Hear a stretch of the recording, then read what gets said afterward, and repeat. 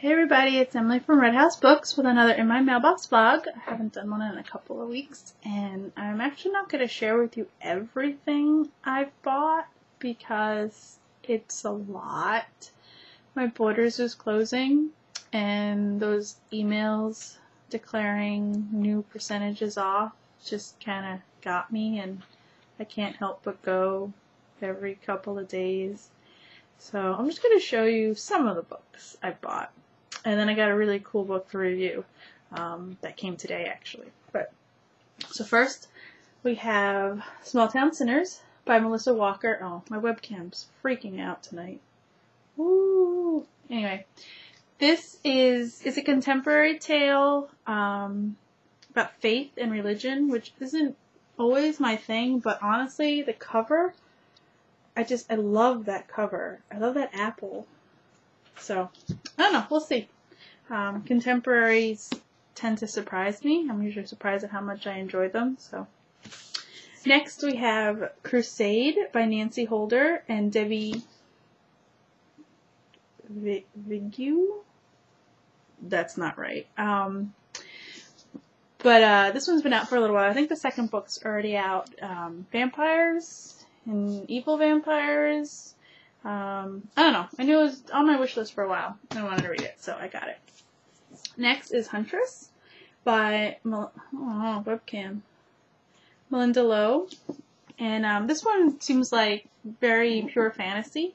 It's an entirely um, takes place in a fantasy world, um, magic and kinds of awesome stuff. Um, I love fantasy stories, so really looking forward to reading that. Next is Human Point 4 by Mike Lancaster, and I've actually already read this and reviewed it. Um, I have an ARC, but I loved it so much. It's really great science fiction.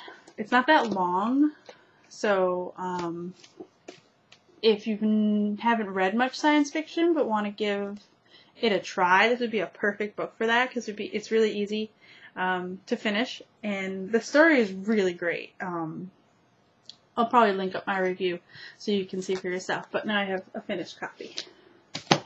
Um, next is Flying Blind by Deborah Cooke. This is, it's the Dragon Diaries, book number one, about dragons, uh, shape-shifting dragons. Kind of like Firelight? Is that the name of? I have it somewhere nearby. Maybe not. Um, but I've been seeing it, I don't know, I kept seeing it at the store and I couldn't resist getting it this time around because it was like I don't know, wound up being like three bucks or something. But um, so I like Dragon, so I'm gonna give it a try. Next is Ten Miles Past Normal by I'm gonna Frances O'Roark Dowell.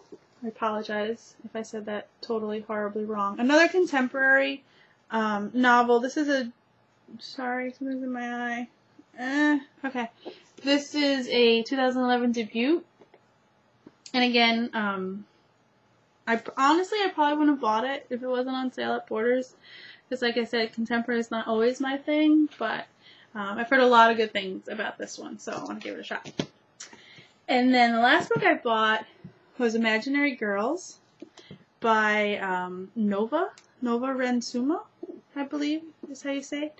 And I love this cover. I've loved this cover since the moment I saw it. And honestly, again, um, I wasn't gonna pick it up. I haven't seen. I've seen some reviews that were so-so. Um, some of that, you know, people just really didn't enjoy it. But it's um paranormal, kind of. There's like two sisters, I believe. Um, something strange happens. So I don't know. It sounds like a book I would like. So I'm gonna give it a shot and see. So those are the books I bought. Some of them at least. Um, just a few more things quickly. I got some bookmarks from uh, Scott Tracey, the author of Witch Eyes.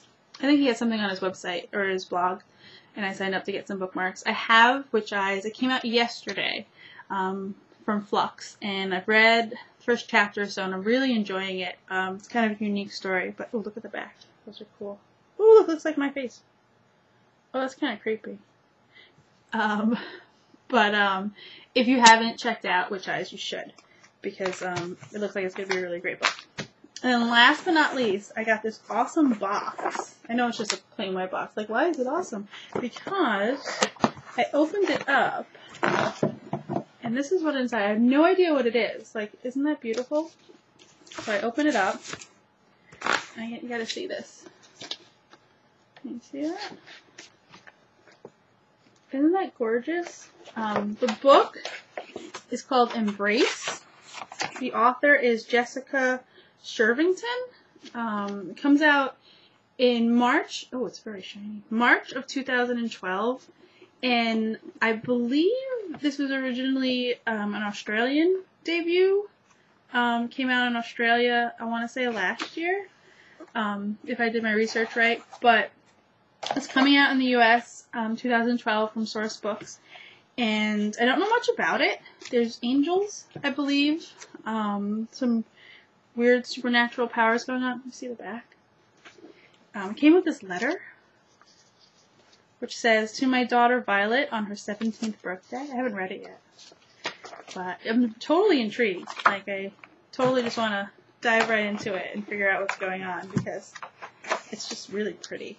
I'll put this string back on too. So that's what I got. Uh, I'm done. Again, there was more books I bought, but I'm not showing you those because you don't really need to see how much of a problem I have. But um, that's it for now. Uh, hopefully I'll be back next week with another vlog. And my Borders isn't quite closed, so I'm sure I'll have another pile. Although there's hardly anything left at this point, but I'm sure I can find a few things.